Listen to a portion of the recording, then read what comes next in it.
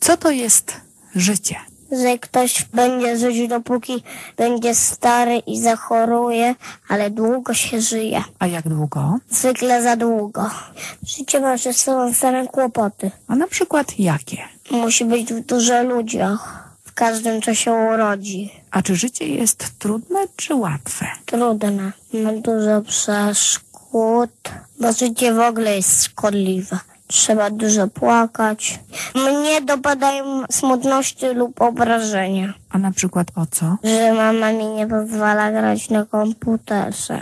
To wtedy się obrażam lub kiedy mama mi czegoś nie kupi. Wtedy życie staje się ciężkie dla mamy. A czy można mieć takie bardzo szczęśliwe życie? Zdarza się, ale od biedy. A często? Chyba nie za często.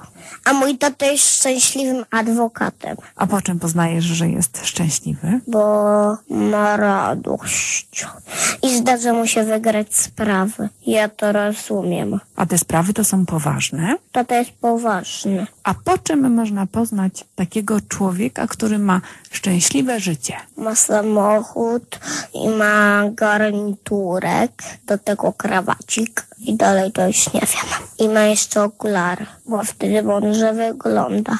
Kiedyś tata miał takie kwadratowe okulary, ale wyszły z mody. Takie miał Michał Wiśniewski na teledysku. A co to jest życiowy problem? Że kogoś złapie biegunka i będzie musiał w kibelku spędzić cały dzień. A są jeszcze jakieś inne problemy? Ale ja nie wiem, bo nie mam żadnych innych.